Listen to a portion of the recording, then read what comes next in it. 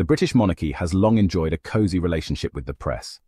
This relationship has been carefully nurtured over the years, creating a symbiotic bond between the royal family and the media. The press gets exclusive stories and access, while the monarchy benefits from favourable coverage that helps maintain its public image. A select group of journalists, known as the Royal Rota, are granted privileged access to cover the official engagements and pronouncements of the royal family. These journalists are hand-picked and given the responsibility of reporting on the monarchy's activities, ensuring that the public remains informed about the royal family's endeavours. This access, however, comes at a price. Critics argue that the rota system fosters a culture of deference and silence, where journalists are reluctant to report critically on the royals for fear of losing access. This fear of retribution has led to a lack of investigative journalism and a tendency to gloss over controversies that might paint the monarchy in a negative light. This unspoken agreement has for decades shielded the monarchy from scrutiny, allowing them to cultivate a carefully curated public image. The royal family has been able to present itself as a symbol of stability and tradition, free from the scandals and controversies that often plague other public figures. However, the times are changing. The advent of digital media and the rise of social media platforms have revolutionized the way information is disseminated and consumed. The public now has access to a multitude of sources, and the traditional media's monopoly on information is being challenged. The public is increasingly demanding transparency and accountability from institutions, and the monarchy is no exception. People are no longer content with the carefully managed narratives provided by the royal rota. They want to know the truth, even if it is uncomfortable or unflattering.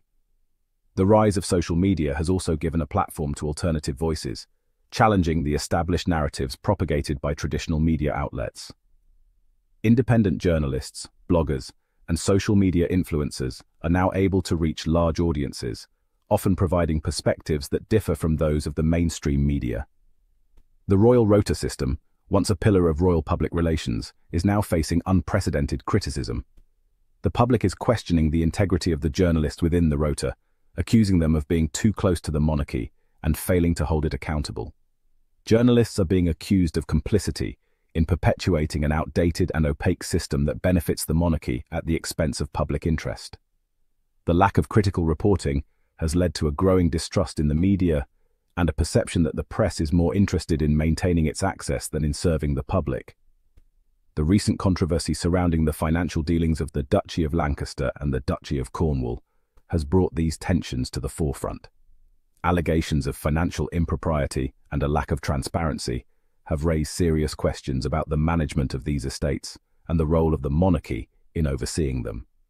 The silence of the royal rota on these issues, particularly the lack of investigative journalism into the financial affairs of the duchies, has sparked outrage and accusations of bias. Critics argue that the rota's failure to investigate these matters is indicative of a broader problem within the system.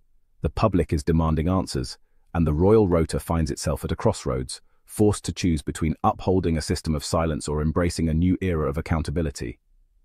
The future of the rota, and its relationship with the monarchy, will depend on its ability to adapt to the changing media landscape and the growing demand for transparency and truth.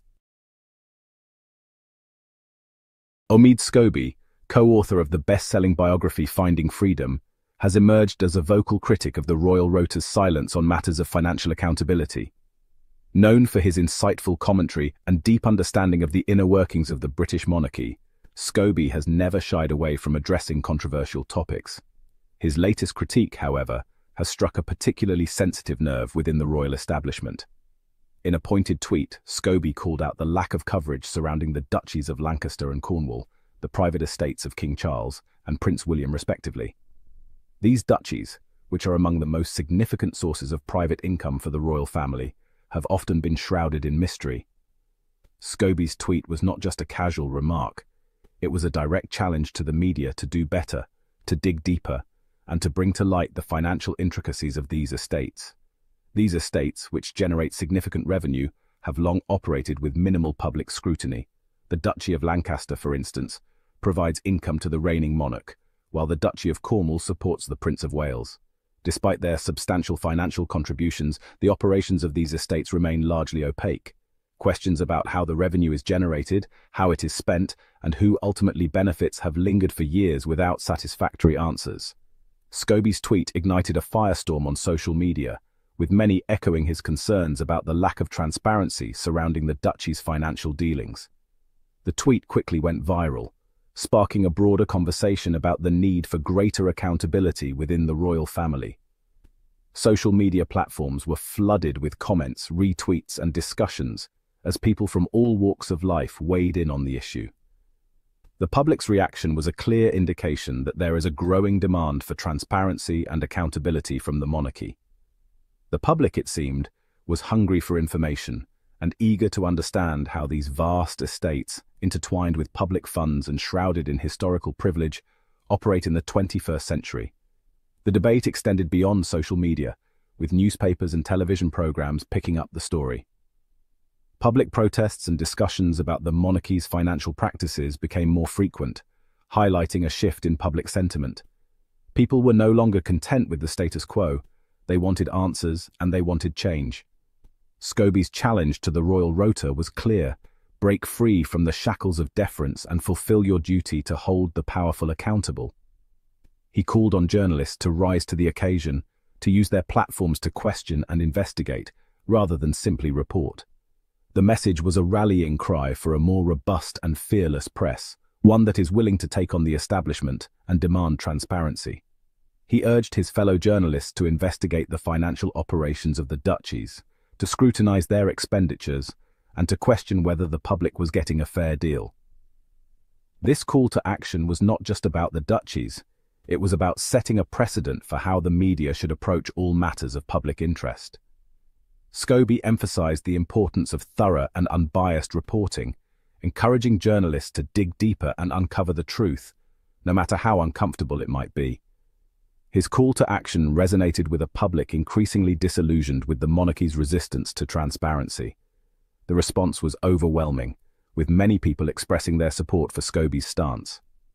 Public demonstrations and group discussions on transparency became more common as people demanded more openness from the royal family. The issue of financial accountability within the monarchy had become a hot topic, and it was clear that the public was not going to let it go. Scobie's tweet served as a lightning rod, focusing attention on the uncomfortable truth that the royal family, despite its claims of modernization, continues to benefit from archaic systems of privilege and financial opacity. The tweet was a catalyst for a much-needed conversation about the role of the monarchy in modern society and the need for greater transparency. It highlighted the gap between the royal family's public image and the reality of its financial practices, prompting a re-evaluation of what it means to be a modern monarchy. The duchies of Lancaster and Cornwall are not merely historical relics, they are vast estates encompassing agricultural land, commercial property, and financial investments, making them significant economic entities. The revenue generated from these holdings provides a significant income stream for King Charles and Prince William, ensuring their financial stability. Supplementing the sovereign grant they receive from the public purse, which is funded by taxpayers. While the exact figures are shrouded in secrecy, it is estimated that the Duchy of Lancaster, which dates back to the 13th century, generates tens of millions of pounds annually for the reigning monarch. The Duchy of Cornwall, established in the 14th century, provides a similar income stream for the heir to the throne, ensuring their financial independence. These financial arrangements raise important questions about the relationship between the monarchy and public funds and how they are managed. Critics argue that the Windsors' reliance on income from these private estates, while simultaneously receiving public funding through the sovereign grant, represents a conflict of interest and ethical dilemma. Furthermore, the lack of transparency surrounding the duchy's financial dealings makes it impossible to assess whether public funds are being used appropriately or whether the Windsors are benefiting from preferential treatment in their